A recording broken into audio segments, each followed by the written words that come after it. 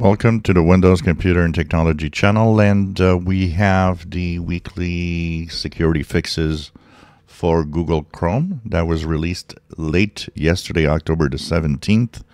And uh, so, if uh, you want to check out your Chrome browser, it contains one fix, only one. They're not stating its importance, uh, which is kind of interesting. So, we don't know if it's a high severity, medium, critical uh, we really don't have much of an idea of what it is all about.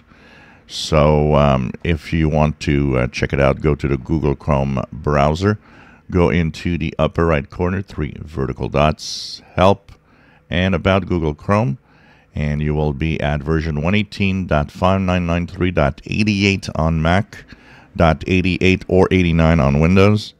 And like I said, it contains one fix, but not a lot of information on that fix. We don't really know exactly how severe it is. Um, it's probably not critical because they would mention it, especially when they're zero days exploited in the wild.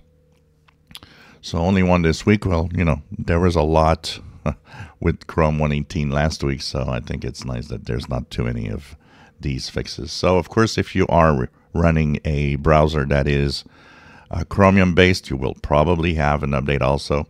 So uh, Edge, Brave, Opera, and so on will all get at some point their security updates for this uh, today or in the next few days uh, also. So Google Chrome update for the weekly security updates is here. If uh, you wish to stay safe, this is your first line of defense. It is a web browser, so by maintaining the web browser to the top uh, updates, it prevents a lot of problems in the future. If you enjoy my videos, please subscribe, give us thumbs up. Thank you for watching.